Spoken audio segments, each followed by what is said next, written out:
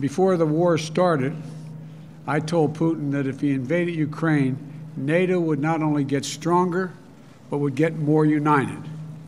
And we would see, would see democracies in the world stand up and oppose his aggression and defend the rules based order. And that's exactly what we're seeing today.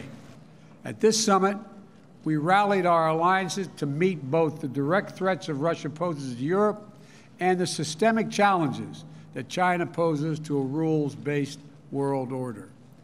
And we've invited two new members to join NATO. It was a historic act Finland and Sweden, two countries with a long tradition of neutrality and choosing to join NATO. We've reaffirmed that our Article 5 commitment is sacred, and an attack on one is an attack on all, and we will defend every inch of NATO territory.